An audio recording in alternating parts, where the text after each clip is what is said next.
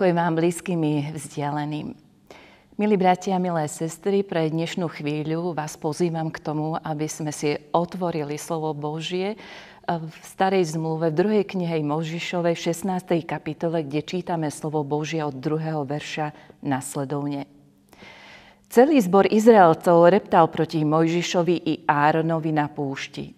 Izraelci im povedali, Keby sme radšej boli zomreli rukou hospodinovou krajine egyptskej, keď sme sedávali pri hrncoch mesa, keď sme jedávali chleba do sítosti, ale vy ste nás vyviedli na túto púšť, aby ste hladom na smrť umorili celé zhromaždenie.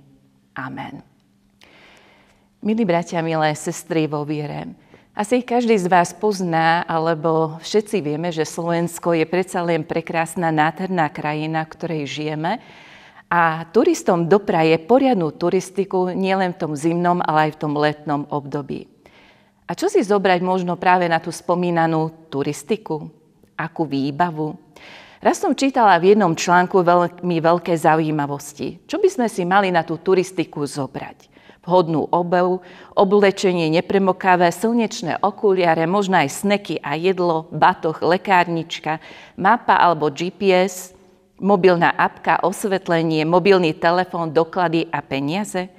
Ale nemali by sme zabudnúť ani na kartičku poistenca, číslo na horskú záchranu službu a k tomu všetkému by sme si mali pridať poriadnu dávku chuti, lásku k prírode a vytrvalosť k celej výbave, práve ktorú som v tejto chvíli vymenovala, bol napísaný aj presný popis. Izrael je tak trochu možno iná krajina. Nepodobá sa na Slovensko a je tam trochu iné podnebné pásmo a sú tam iné podmienky života. Pomaly, ale isto sme si všimli, že končí letný čas prázdnin a naozaj sme možno mali príležitosť a podnikli sme aj tú menšiu alebo väčšiu turistiku. Boli sme na dovolenkách.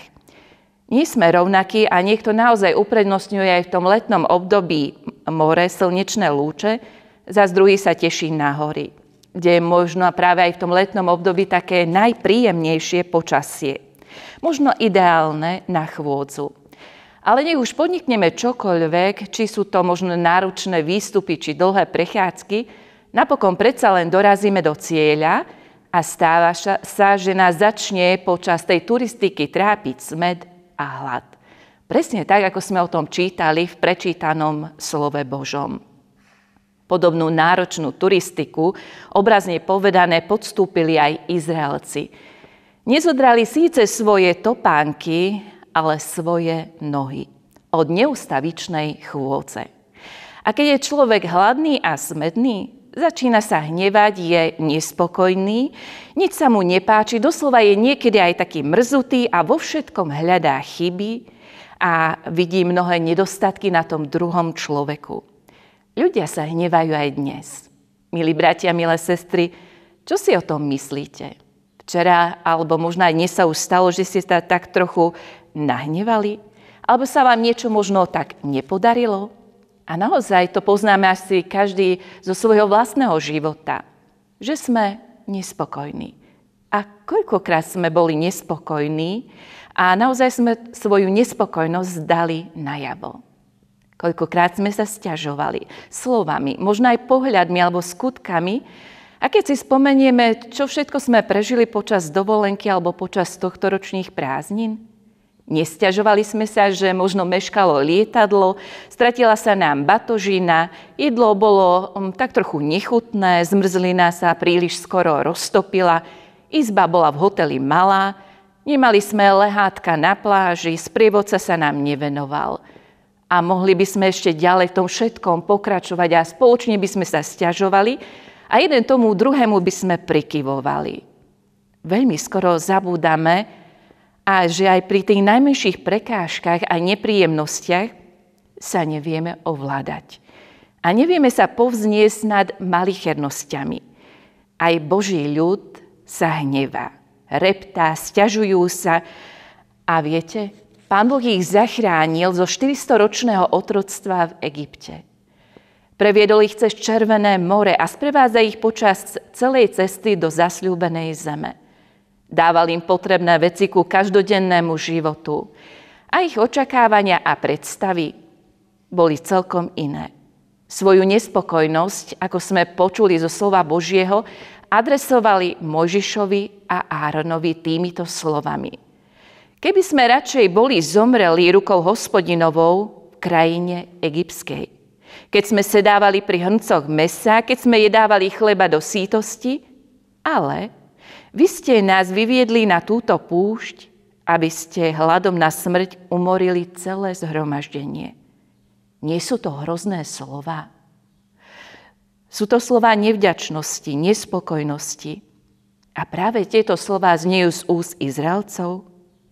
A dnes, čo si podobného robíme, asi snáď všetci. Keď sa nám nedarí a potom sa hneváme. A máme na to v skutočnosti dôvod hnevať sa? Pozrite sa skúste si zobrať do svojich rúk takýto malý alebo väčší zväzok kľúčov. Pozrime sa spoločne na tieto kľúče a potom pochopíme, že nemáme dôvod sa hnevať a nemáme dôvod byť nevďačný. Prečo? Jedným kľúčom otvoríme svoj domov, kde bývame. Máme za čo ďakovať. Druhým kľúčom možno otvoríme svoje auto a nemusíme chodiť peši. Zas ďalším kľúčom možno otvoríme svoju schránku a možno z tej schránky vyberieme nejaký list. Zas ďalším kľúčom možno otvoríme alebo zatvoríme svoj bicykel. A ešte by sme mohli ďalej pokračovať. Preto sa skúsme nad tým zamyslieť. Máme dôvod sa stiažovať. Pán Boh sa o nás každý deň stará. Dáva nám toho oveľa viac, ako si zaslúžime. Amen. Modlíme sa. Pane Ježiši, ja ti ďakujem, že mám strechu nad hlavou. Ďakujem ti aj za tvoju milosť, ktorú mi dávaš, ale aj za lásku. Lebo tvoja láska mení môj život. Pomáha mi vo chvíľach, keď sa hnevám, alebo keď som možno nevďačný alebo nevďačná, keď som nespokojný alebo nespokojná, keď sa stiažujem a vo svojich rukách mám toľko dobrých vecí. A ja si to nevšimnem. Ďakujem ti, že práve dnes otváraš moje oči, aby som vnímal, či vnímala okolitý svet a videla v ňom tvoje dary. Ďakujem ti, že nechceme kráčať cestou, po ktorej kráčali práve tí spomínaní Izraelci na púšti. Iste to nemali jednoduché, bolo to ťažké. Aj my občas máme ťažké chvíle. Ale ďakujem ti, že v tvojom slove vidím dar. Dar, za ktorý chcem aj teraz ďakovať. Za veci, ktoré ma obklopujú, ale aj za spásu a väčší život. Amen.